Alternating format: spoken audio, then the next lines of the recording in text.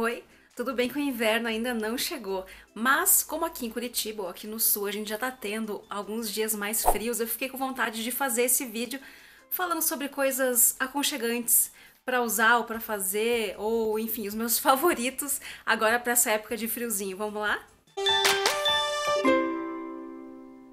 Para começar, o meu mais novo favorito é esse que tá aqui do meu lado, esse cobertor aqui, ó.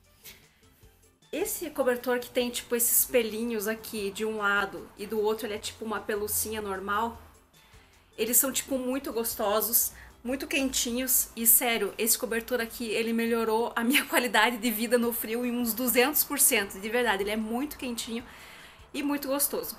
Eu queria um cobertor desse faz muito tempo, eu tenho um amigo que tem, mas eu lembro que o dele é de um lugar tipo Sam's Club, uma coisa assim que você precisa fazer assinatura, enfim, eu nunca tinha achado um exatamente desse tipo.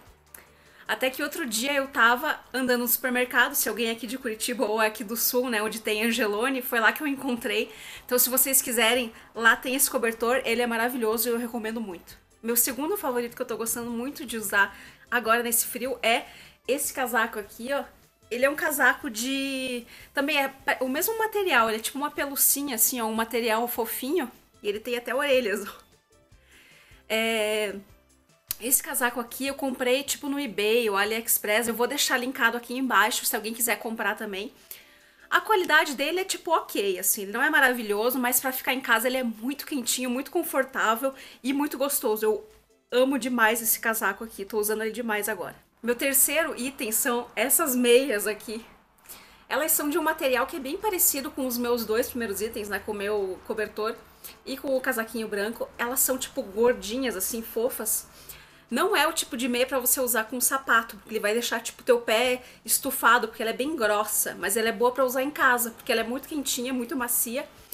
E elas não são muito caras. Aqui em Curitiba, pelo menos, eu encontro tipo em lojas de cacarecos, assim, tipo Casa China, ou lugar de. ou tipo lojas no centro, enfim, mas tem bastante dessas aqui e elas são muito boas agora no inverno.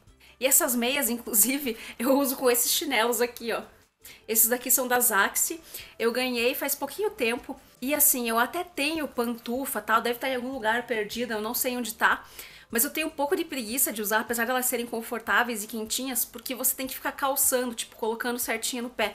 Esse daqui não, você só coloca e aí você usa com meia e esse chinelo aqui, fica bem estiloso. Só que não, mas enfim, em casa fica quentinho, fica confortável, eu adoro. Número 4 são esses balms hidratantes labiais que são mais grossinhos. Ó, tipo esse daqui, esse é da Nuxe. Esse aqui é da The Body Shop. Esse aqui é o de mel, mas tem tipo um bilhão de sabores de todas as linhas deles.